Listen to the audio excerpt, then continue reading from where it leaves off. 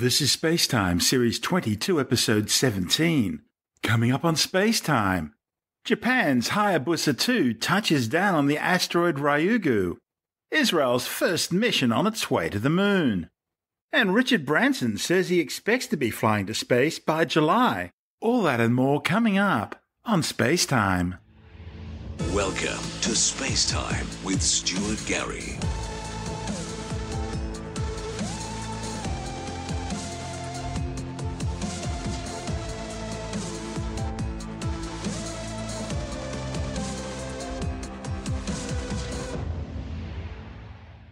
Japan's Hayabusa 2 spacecraft has briefly touched down on the surface of the asteroid Ryugu to collect samples for eventual return to Earth.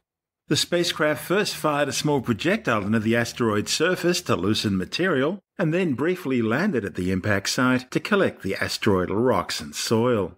162173 Ryugu is a potentially hazardous near or near Earth object belonging to the Apollo group of Earth crossing asteroids. The 950 metre wide diamond shaped space rock is a rare type of asteroid known as a spectral type CG. It includes properties of both common carbonaceous or high carbon C type asteroids, as well as relatively rare G type asteroids, which contain strong ultraviolet absorption features, suggesting phyllosilicate minerals such as clays or mica. Ryugu orbits the Sun in retrograde, that is, in the opposite direction of the planets, at a distance of between 0.96 and 1.41 astronomical units every 474 Earth days. An astronomical unit being the average distance between the Earth and the Sun, about 150 million kilometres or 8 light minutes. As for the name Ryugu, well, it's Japanese for Dragon Palace and it refers to a magical underwater palace in Japanese folklore where a fisherman travelled on the back of a turtle, returning home later with a mysterious box, much like Hayabusa 2 returning with asteroid samples. The Japan Aerospace Exploration Agency JAXA is now waiting for confirmation that Hayabusa's sample collection was successful. If it gets the OK, it'll only be the second time in history that a spacecraft has collected a sample from an asteroid.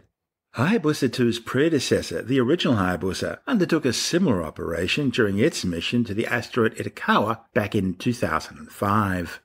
However, it collected only a few grains of dust following a series of problems during the first descent attempt and a projectile firing failure during the second attempt. However, those precious few grains were successfully returned to Earth, being ejected in a special sample return capsule which parachuted down into the Woomera rocket range in outback South Australia in 2010. Hayabusa 2's autonomous descent to the surface of Ryugu has also been considered a high risk maneuver, taking 26 hours to slowly drop the spacecraft from an altitude of about 20 kilometers down onto a desolate grey boulder strewn surface which could easily damage the spacecraft. But mission managers believe that based on everything they can see, the descent and sample collection went according to plan this time round. Hayabusa 2 locked onto a previously positioned reflective target marker, a region chosen by scientists as the safest place on the rock covered asteroid to attempt the landing. The spacecraft then fired a projectile into the surface just as it was touching down, kicking up some soil, pebbles, and rocky material, which would then have been quickly scooped into a sample collection chamber. The Hayabusa 2 orbiter is scheduled to depart Ryugu in December, swooping past the Earth a year later, where it will eject a sample return capsule, which, like its predecessor, is designed to parachute down into the Woomera rocket range in outback South Australia. I'm Stuart Gary. You're listening to Space Time.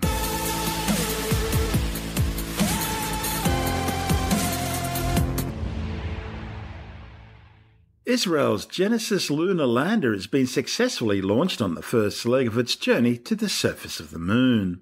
The spacecraft was flown into orbit aboard a SpaceX Falcon 9 rocket, which blasted off from Space Launch Complex 40 at the Cape Canaveral Air Force Station in Florida. If successful, Israel will become only the fourth nation on Earth after the Soviet Union, the United States, and China to undertake the 384,000 kilometer journey to land on the lunar surface. It's a big moment. Uh, we are really excited. We're sure that you are also. So one thing we always do in every event is uh, we take a selfie. Three, two, two one, to the moon! What we have done is we've used our ingenuity and we will achieve the objective and we will show the world what we in Israel can do. This lander will be the world's first privately funded spacecraft to reach the moon. Its mission is to transmit photos and video of its new home and conduct tests of the environment. An interesting fact about this lander is that it will be using its own power to travel to the moon, which will take nearly two months. 10, 9, 8, 7, 6, 5, 4, 3, 2, 1, 0. Ignition.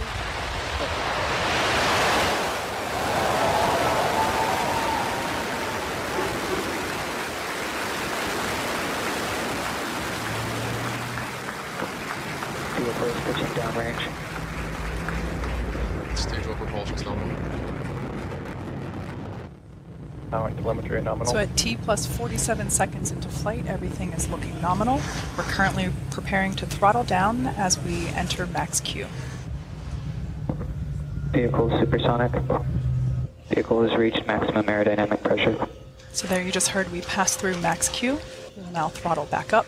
MVAC engine chill. There you heard the call out for MVAC engine chill. This is the point in which we start to flow the super cold liquid oxygen into the turbopumps, bringing them down to flight temperatures. This helps us reduce the temperature difference between the liquid oxygen and the hardware. Everything looking good with stage one trajectory. Main engine cutoff, MECO 1 approaching now. Eco. Second stage engine has lit the gorgeous red orange glow of that nozzle. We're now at T plus th- three minutes and five seconds into flight. Coming up next will be fairing deployment. Now that second stage is in the vacuum of space, uh, we don't need the fairing anymore. So, in order to improve our vehicle efficiency, we shed the extra weight. Fairing separation confirmed. Stage one entry startup. And their entry burn has begun. This should last about 18 seconds. Stage one entry burn. Shut down. And entry burn is complete for first stage. Next, coming up at about T plus 8 minutes, will be a rapid series of events. This will include the first second stage engine cutoff, or SECO 1, the start of the landing burn, followed by the first stage landing. SECO 1 and the landing burn will occur within 4 seconds of each other, followed by the stage 1 landing shortly after that. Stage one landing startup. We have SECO 1. Okay, shut down. Stage one landing leg deployment. It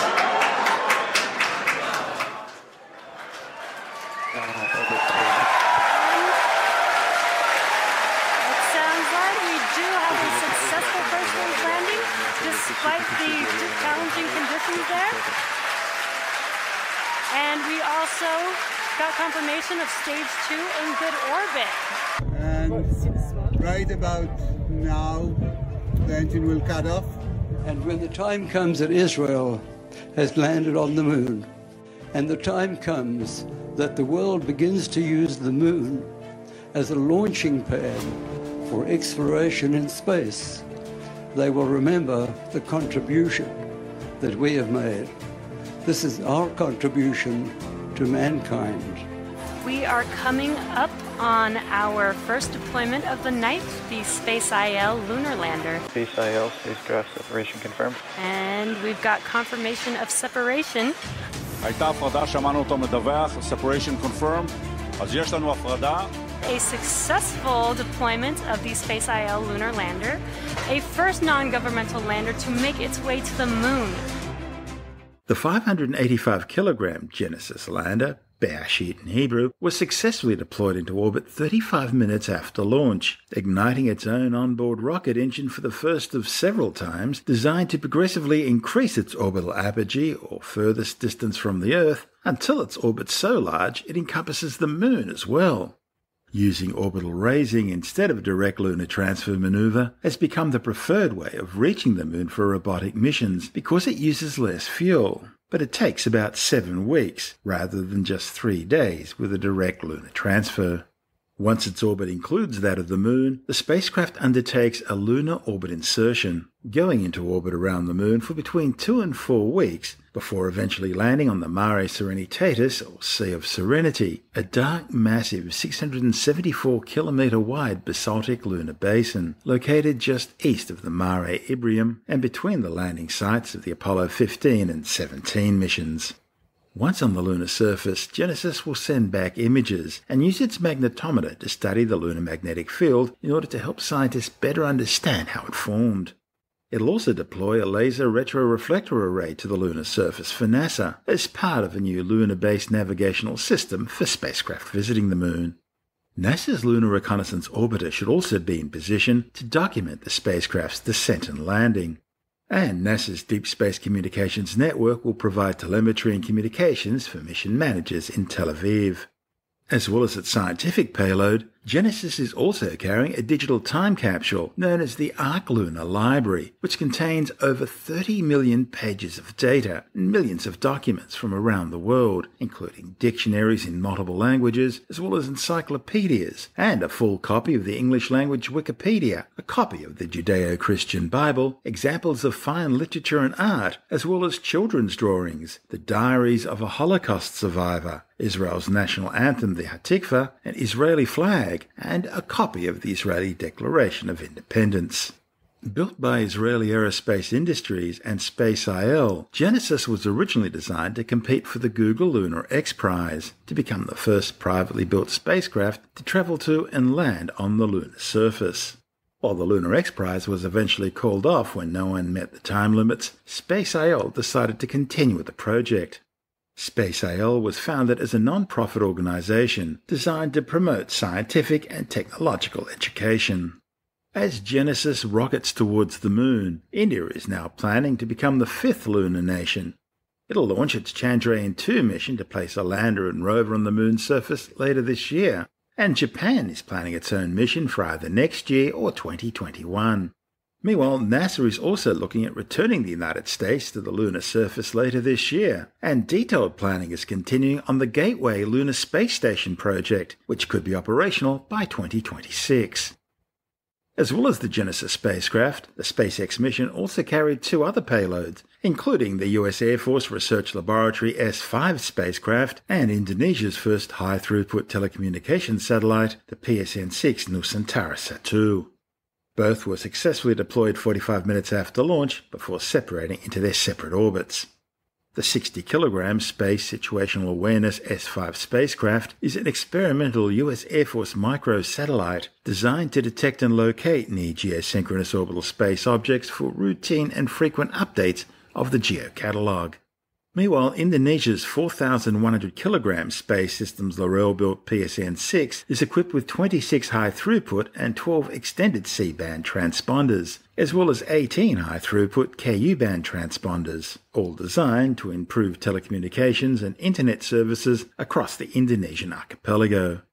This mission was the third flight for the same Falcon 9 booster, which had already flown the Iridium 7 mission last July and Argentina's SAOCOM 1A Earth observation satellite mission 11 weeks later. The booster returned to Earth following MECO or main engine cutoff and first stage separation, successfully landing on the drone ship Of Course I Still Love You, which had been pre-positioned in the North Atlantic Ocean downrange of the launch site. This is Space Time. I'm Stuart Gary.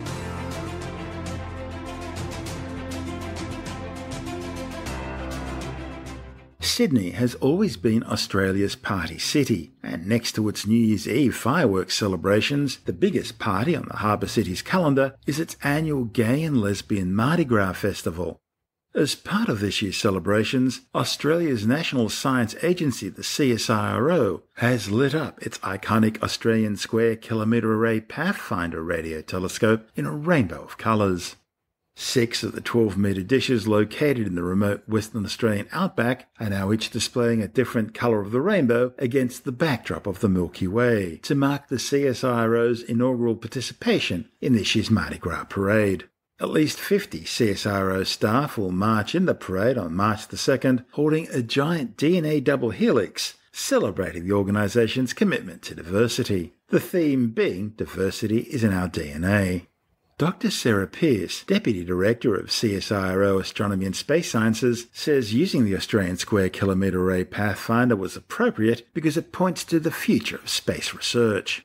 The Pathfinder, located at the Murchison Radio Astronomy Observatory, some 800 kilometres north of Perth, is testing technologies which will be incorporated into the massive multi billion dollar Square Kilometre Array project, the world's largest radio telescope, now being developed in outback Australia and in South Africa. Pearce says the Pathfinder is used by a diverse group of astronomers from right around the world, so it's an appropriate setting for a rainbow display. We've lit up six of ASKAP dishes um, in rainbow colours, one colour per dish.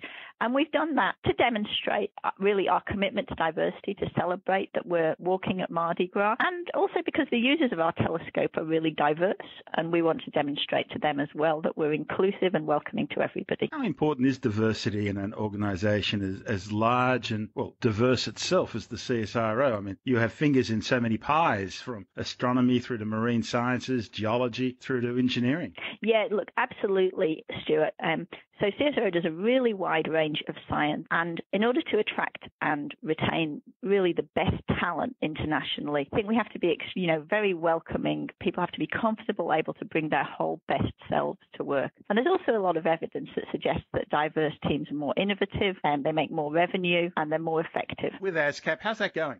Where are we up to with that? ASKAP's in its commissioning phase now, so it's 36 dishes, and its innovative radio cameras are all starting to work together. But it's already delivered some really great science. For example, we've detected more than 20 fast radio bursts already with the telescope, even though it's not quite fully working yet. And of course, the, the good thing with ASKAP is you haven't got microwave ovens there to accidentally open up before they've finished cooking, so you're not getting any false readings. No, in fact, ASKAP we think is on what's the world's best radio observatory site because it's extremely quiet. It's around 350 kilometres from the nearest town, and so that's why we've gone there because it's very radio quiet. Are you near the Murchison Widefield Array? Is that uh, is that nearby? Yes, that's right. So we're both both on the Murchison Radio Astronomy Observatory, which is managed by CSIRO, and we're very pleased to be able to share it with with MWA. Murchison's a different type of radio telescope setup, isn't it?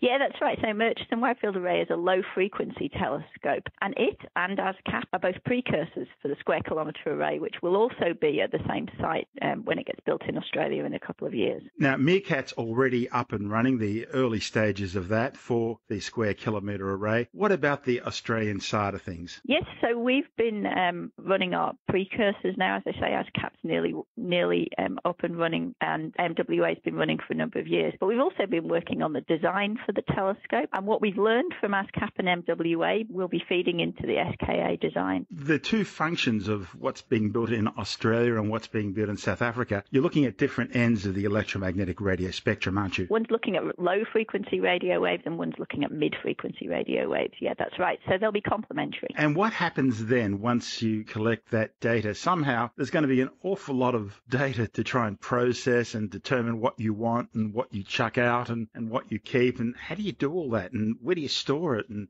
how do you simply get that amount of data from one place to another? Yeah, look, ASKAP and SKA to come are absolutely data radio telescopes. You know, they're producing masses more data than we've been used to as radio astronomers. SKA will have an archive that's something like two or three hundred petabytes of data a year. So solving that big data challenge is one of the key things we'll be working on over the next few years. Because that, that's the big problem, isn't it? How do you know what you keep is worth keeping and how do you know what you chuck out is stuff that you can afford to get rid of or you can afford to lose yeah and so that's a really key challenge and for the first time with these telescopes the computers the supercomputers that run the data are really part of the telescope because we have to process the data more or less at the same time as it's taken we just can't afford to store all the raw data anymore. In this case we're talking about a new generation of supercomputers some of the biggest in the world. Yeah that's right. Look we'll require for ska exascale kind of computing so that would be those will be bigger computers than anybody has now. Fortunately, we've got a few years yet to get there. And this is all being coordinated from Manchester, England. Yes, so SKA headquarters is in Manchester, but there are 10 member countries all over the world, and we really very much enjoy that international collaboration. In fact, in two weeks' time, we'll be gathering in Rome to sign the treaty for SKA. That's Dr. Sarah Pearce, Deputy Director of CSIRO Astronomy and Space Science. And this is Space Time. I'm Stuart Gary.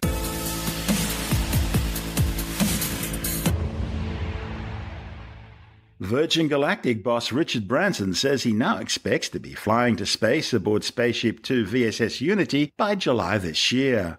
Branson's announcement follows December's successful test flight by Unity, which reached an altitude of 82.704 kilometres That's 271,340 feet, just short of the 100 kilometre or 328,000 feet altitude internationally recognised as the official start of space. However, the achievement does surpass the lower American recognition for the start of space, which is just 80 kilometres above sea level. The Unity wing spaceplane was launched from beneath its twin fuselage White Knight II mothership Eve, which had taken off earlier like any conventional jet from the runway at the Mojave Air and Spaceport in California. After climbing to an altitude of 12 kilometers or 40,000 feet, Eve released Unity, which then ignited its hybrid rocket engine and accelerated vertically towards space. Branson says he wants to fly aboard Unity in time to mark the 50th anniversary of the first man on the moon landing, when Apollo 11 astronauts Neil Armstrong and Buzz Aldrin touched down on the Sea of Tranquility on the lunar surface on July the 20th, 1969. Once operational, Unity will carry two pilots and up to six space tourists at a time on ballistic suborbital flights to the edge of space, providing passengers with a few minutes of microgravity and spectacular views of the Earth beneath before gently gliding back to the ground for a conventional runway landing. Virgin is one of two companies planning to offer suborbital space flights for tourists. The other is Blue Origin, and they've got a bit of an advantage. They've already reached the 100 kilometre mark, the official start of space, on eight test flights, a feat Virgin is yet to do. Virgin, of course, suffered a major setback back in 2014 when Unity's predecessor, the VSS Enterprise, broke apart in midair following pilot error, killing one of the test pilots.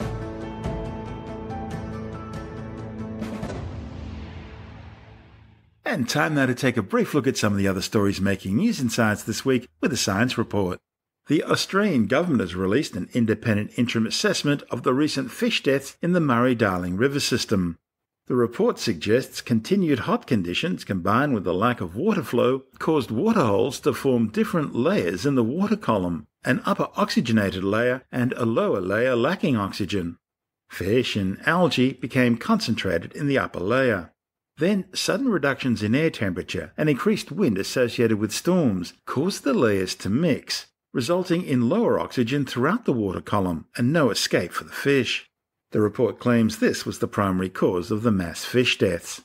University of Queensland Professor John Quiggin says the report clearly describes the antecedent conditions which made the lower Darling so vulnerable to large scale fish deaths, all of which reflect policy failures of government. These include increased upstream extractive use of water, the decision to release water from Menindee Lakes in 2016, and the extreme climatic conditions which are the new normal as a direct result of climate change. Professor Culum Brown from Macquarie University says if government and managers had factored climate change into the basin plan, as any sensible manager would do, they would have anticipated these extreme events and increased environmental water allocations accordingly. Professor Brown warns that extremely hot days will increase in frequency in the future because of climate change and will soon become the norm. Scientists have announced finding what many consider to be the holy grail of bee discoveries Wallace's giant bee. This bee is the world's largest, with a wingspan of more than 6 centimetres. But despite its conspicuous size, it's been lost to science since 1981. Now, researchers from the University of Sydney, St Mary's University in Canada, Princeton University, and the Global Wildlife Conservation have rediscovered the species in the North Moluccas, an island group in the Indonesian archipelago. The finding resurrects the hope that more of the region's forests still harbour this very rare species. A new study warns that influenza vaccines may not be effective for some elderly people. A report in the journal Cell Press warns that senior citizens are less capable of producing antibodies that can adapt to new viral strains. Scientists say that as people age, their B cells and the antibodies they release have fewer mutations, making their immune systems less flexible and unable to protect against viruses that mutate. The new findings could be used to try and develop vaccines that better protect the elderly against the ever changing flu virus. The genome of the commonly cultivated strawberry has revealed that it's related to four different types of wild strawberries and that it likely had its origins in North America more than a million years ago. Unlike the two sets in humans, the commonly farmed strawberry has eight sets of chromosomes, making it very complicated at a DNA level. The report in the journal Nature Genetics found the eight sets of chromosomes could be traced back to four wild strawberry ancestors. The complicated DNA combinations that can arise from having eight sets of chromosomes were also found to be dominated by just one of these ancestors, whose genes largely control disease resistance and the pathways that give rise to strawberry flavour, colour, and aroma. Researchers say this new information will boost breeding efforts. Apple says it plans to increase its push into augmented reality with next year's iPhone to include a more powerful 3D camera designed to scan the environment and create a three dimensional reconstruction of the real world. The company is also looking at releasing at least two new iPads this year a new, cheaper iPad mini and an iPad with a 10 inch screen and faster processor. Apple says an upgraded iPad Pro is also on the cards for 2020. A new study has found that just like people, dogs' personalities can change over time. We all know that when dog parents spend extra time scratching their puppies' tummies, taking their dogs out for walkies and games of fetch, or even when they feel constant frustration over their dog's naughty chewing or digging habits, they are gradually shaping their dog's personalities. Like people, dogs have moods and personality traits that shape how they react in certain situations. When people go through big changes in life, their personality traits can change. Now, a report in the Journal of Research in Personality has found this also happens with dogs, and to a surprisingly large degree. While you might expect dogs' personality to be fairly stable because, let's face it, they don't have the wild lifestyle swings and changes humans do, their personalities actually change quite a lot. Researchers surveyed owners of more than 1,600 dogs, including 50 different breeds, ranging from puppies just a few weeks old to old timers 15 years of age. They found that saying you can't teach an old dog new tricks really is true, with older dogs being generally harder to train. Apparently, the sweet spot for teaching a dog obedience is around the age of six, by which time it's outgrown its excitable puppy stage, but before it's too set in its ways to change. The researchers also found that dogs really do resemble their owners, at least in personality, with extroverted humans usually having more excitable and active dogs. Owners with high negative emotions tend to have dogs that are more fearful, active, and less responsive to training. While people who rated themselves as agreeable tended to have dogs that are also less fearful and less aggressive to both people and other animals. And owners who felt happiest about their relationship with their dogs tended to report active and excitable dogs, as well as dogs who were the most responsive to training. The findings all show how much power humans have of influencing a dog's personality. It also shows how a dog's personality changes in response to its owner's personality. All a clear case of nurture winning over nature. You're listening to Space Time. I'm Stuart Gary, and that's the show for now. You can subscribe and download Space Time as a free twice weekly podcast through Apple Podcast iTunes, Stitcher, Bitesz.com, Pocket Casts, SoundCloud, YouTube, Audio Boom, from spacetimewithstuartgary.com, or from your favorite podcast download provider. Spacetime's also broadcast coast to coast across the United States on Science 360 Radio by the National Science Foundation in Washington, D.C., and available around the world on TuneIn Radio. If you want more space time, check out our blog where you'll find all the stuff we couldn't fit in the show, as well as loads of images, news stories, videos, and things on the web I find interesting or amusing. Just go to spacetimewithstuartgary.tumblr.com. That's all one word and in lowercase, and that's Tumblr without the E. You can also follow us on Twitter through at Stuart Gary at Spacetime with Stuart Gary on Instagram and on Facebook, just go to www.facebook.com slash spacetime with Stuart Gary. Spacetime is brought to you in collaboration with Australian Sky and Telescope magazine, your window on the universe. You've been listening to Spacetime with Stuart Gary. This has been another quality podcast production from Bitesz.com.